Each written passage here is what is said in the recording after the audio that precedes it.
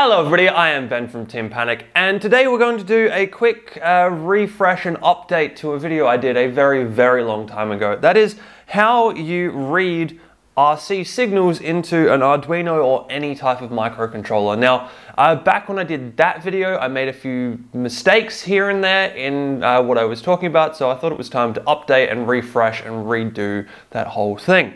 Alright, well I think that's enough of that. Let's uh, jump right on in to what RC signals are and how you get them into a microcontroller. So there are two different types of receivers that I want to talk about today. There are these standard type here which have a channel out and a power and a ground for every single pin that they can access. So this is a four channel receiver. It has four signal pins, four power pins and four ground pins and that's a fairly standard thing for a receiver. Now for something like this you need to run at least ground, uh, at least one ground between it and your microcontroller, and then you also need to run one wire for each channel you want to talk to. So this one here I've got set up to run two channels into this microcontroller at the back. But if I wanted three and four channels, I would need to run even more wires into this thing and you start losing pins on a microcontroller very quickly. This type of setup is totally fine for very easy little things like a couple of channels like what I'm doing here. Uh, but if you need more channels, then you want to start looking at something like this. So this here is an S-Bus receiver for FlySky. It uh, uses a very, very complicated communications protocol that we won't get into today. Uh, and it sends all of the information for up to 16 channels, I believe this one is, down the one signal wire. Uh, we will talk about this a little bit, but I'm not really going to break down its full communications protocol because that is uh, a whole video in its own right. So, but we will talk very briefly about how you actually uh, program for these. Anyway, let's go back to these guys and talk about RC slash servo signals. Now, uh, I'm saying slash because they can be called an RC signal, they can be called a servo signal. They're originally used for servos, uh, but now, yeah, they're used pretty much everywhere inside uh, RC gear. Now, they are, unlike what I said in the last video, not a PPM signal. They are a modified PWM signal. Now, for those of you who missed the last couple of videos because they are quite, quite old, PWM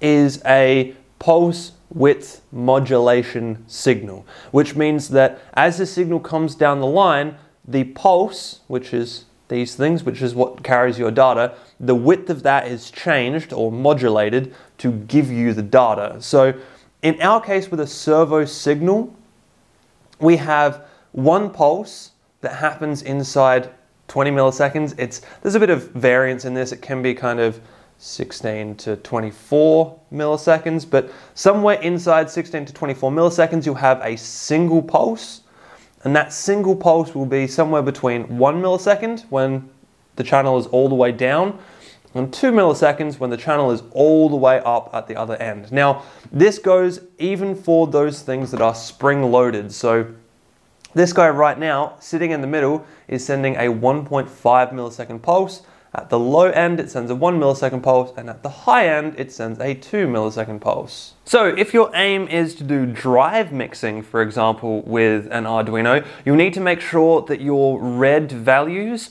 zero your motors out when you're getting a 1.5 millisecond pulse rather than a 1 millisecond pulse because 1 millisecond pulse should be full reverse if you're trying to use this for a drive type system. Now, this is just, as I said, one variation of PWM. Uh, PWM is used for a lot of other things as well. It's actually used to control how much voltage or effective voltage is going to a motor, uh, but that again is a whole other video and in actual fact I've done that video. There is a video on this channel titled PWM versus PPM and I will leave a link to that down below and that goes more in depth into how PWM is used to control how fast motors move. So this is our current setup. We need to work out how to read these individual pulses as they come down the line from our individual channels. Now, you will get one set of pulses each 16 to 24 milliseconds from each channel. So the more channels you have plugged in, the more channels you have to read and the more pulses you're going to get coming into your microcontroller. There is a couple of ways to do this uh, and they range from no, no, no, don't do this if you actually want the thing to work, uh, all the way up to this is awesome and you should do it this way. So let's go through those. Basically, uh, Arduino itself has a function in it which is called pulse in. What pulse in does is it literally, when you call pulse in, it reads the channel. If the channel is high, it waits for it to go low. If the channel is low, it waits for it to go high and then low. Uh, so that's totally fine if you call pulse in here. So if you call pulse in here, that's fine because pulse in will start up, it will see the channel go high, Two milliseconds later, it will see the channel go low. It will say, okay, that's a two millisecond pulse. Awesome, done and dusted. But if you get unlucky and you call pulse in here, for example, it's going to be 15 milliseconds or so before the thing actually pulls high. And this time it's going to read you one millisecond pulse. By the way, this is not normally how you would see this. You normally wouldn't see a straight from full to nothing unless you've got like a switch going on on your radio. Uh, but as a point of example, so you've got a 15 millisecond gap where pulse in from Arduino is sitting there doing nothing. It's literally sitting there going, checking, yep, still zero, still zero, still zero, still zero, just busy waiting essentially, chocking, like, yeah, jamming up all your processing time, doing absolutely nothing, waiting for this pulse to come through. The pulse comes through, it goes, oh cool, that's one millisecond, and then it moves on. The problem with this is that in the time between this pulse and this pulse, you'll actually have, if you've got a different channel, so let's say this is our channel 2 down here, and you can't really see that, but that's cool. Uh, so yeah, 5 volts and stuff. So this is our channel 2. Channel 2 is going to pulse about here each time right? It's going to pulse pretty quickly after channel 1. So if we try and read channel 1 here, we're going to miss this whole pulse because pulse in is still waiting for channel 1 to do something and then bam, channel 1 does something. That's cool. Now we'll read this pulse out of channel 2. So we miss whatever this pulse happened here in channel 1 uh, in channel 2. So pulse in is look, it's a way to do it and you can technically do it but it's a really bad idea. Um, so don't do that because yes, pulse in gets yeah complicated, messy, and can cause your system to lag behind your inputs, which is never what you want, especially in a combat robot type scenario. So the next idea is to do this yourself. Rather than pulse in, what you can do is you can periodically check the line yourself. So you go through and you ask Arduino, is the line high or is the line low? And what was the state beforehand? So the last time I checked it, was the line low? If the line was low and the line is now high, you have seen this rising edge, which means you need to start a timer and you need to then keep going through your loop, constantly through your loop, and then once it goes from high back to low, so once you read a low and the last iteration was high, then you've seen the other edge and you calculate your time out from there. So you'll save a timestamp, save another timestamp, and then you can work out what your distance is there. This, uh, you can do it, it's effectively known as a tight loop because what it means is you've got a little section at the top of your code which does the check and then you've done, you have another section down here which does what you want to do with that. So in our case, that could be do your mixing and set your motors, so you do your mixing and set your motors, and then you loop back around to the top. But the thing with this is it's called a tight loop because you want this to be really, really, really quick. The faster you can make this loop, the better your checking is going to be and your fidelity is going to be. The thing with this is tight loops aren't, you don't usually see them too often in microcontroller stuff because a lot of people come from an old school where microcontrollers were slow and the things that they were trying to do were fairly fast. So tight loops, you couldn't put a lot inside your tight loop before you started completely blowing out past your signal. Whereas these days, an Arduino will run at 16 megahertz, which means one clock pulse every 62 nanoseconds, which is 0.062 microseconds. Uh, sorry, yes, microseconds. So, uh, which is 0.000062 milliseconds. Uh, so that's how long an instruction or a fourth of an instruction takes, depending on the architecture you're using. That's this is getting really into the weeds. I'm sorry, but I I, I like this stuff, so I'm going to kind of quickly get into some weeds, and then we'll go back. But so this is how long it takes for an instruction or a fourth of an instruction. I can't remember. Like I said, it depends on the architecture you're using for an instruction to activate. So you can see with two milliseconds worth of time, we have a lot of these architectures we can burn, or we have a lot of uh, clock cycles we can burn before we really need to get back to do this check again. So this kind of tight loop control, especially when you have fast running microcontrollers, it works. It does its job fairly well.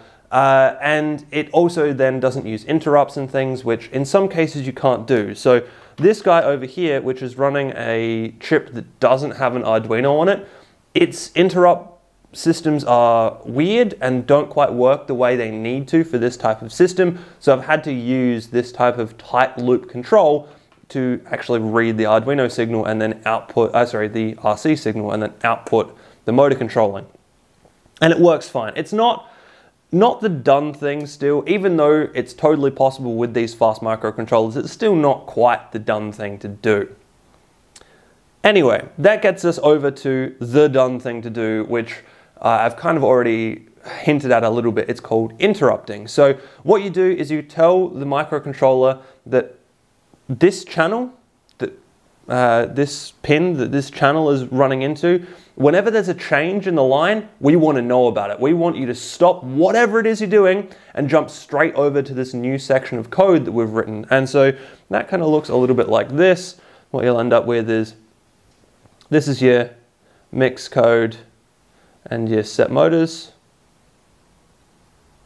And that just loops within itself.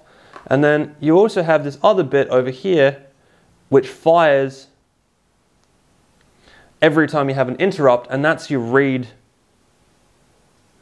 RX stuff.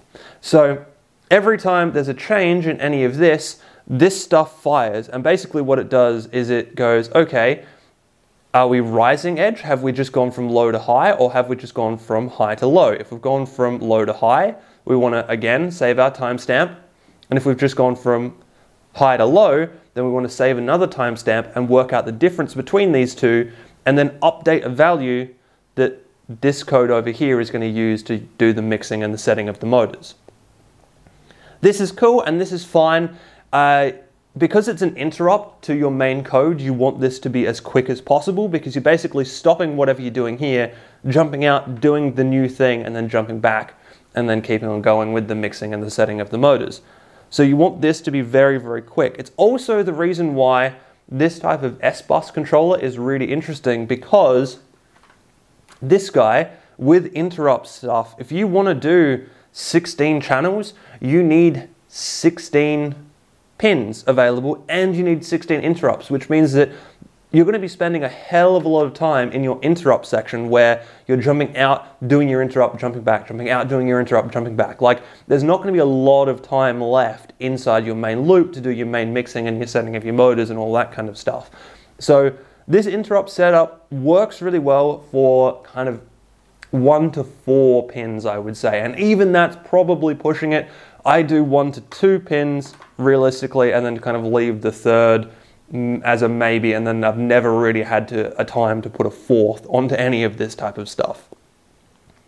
So yeah, there you go. That is how you read a traditional RC signal. I'll leave some um, GitHub links and stuff into the comments down below, which are just examples of other people's GitHubs that I've found that do something similar to this, uh, especially the interrupt code, because that's probably the best one here. Uh, there's a YouTuber called James Bruton who has done a, an amazing like bunch of stuff with uh, robotics, and yeah, he has an interrupt set up code, which is quite simple, quite straightforward, quite easy to understand. So I will leave that uh, in the description down below. Finally, we're going to get over to these guys, the little S-Bus receivers. Now, as I said before, these S-Bus receivers are a complicated thing. They use a whole com serial communications protocol uh, running down this line to give you up to you know 16 or more channels off of one data pin. So this type of thing, it is best uh, to not code yourself. Basically, there are some Arduino libraries that I've found that allow you to read and receive data from one of these things, and that's what I've been using uh, for this guy. This guy's actually the receiver out of my Melty Brain combat robot, and that is what I would suggest you do. So I'll leave a link in the description, or I'll at least leave the name of the Arduino library that I'm using. I actually might throw some basic code. Oh no, the Arduino library has basic read code for this. So I'll leave the, the name of the Arduino code and maybe uh, a GitHub library if I can find one for FlySky S-Bus receivers in the description because that's the easiest way to do this. There's no quick video that I can do that will show you how those signals work. It would be a very long video that I would have to go over a couple of times. Uh, so yeah, just use a library for these guys. It makes your life a lot, lot easier. Anyway, I think that's going to be it for this video. I've just kind of recovered and fixed up some mistakes that I made in the past. I hope you guys have enjoyed that one and I will see you in the next video.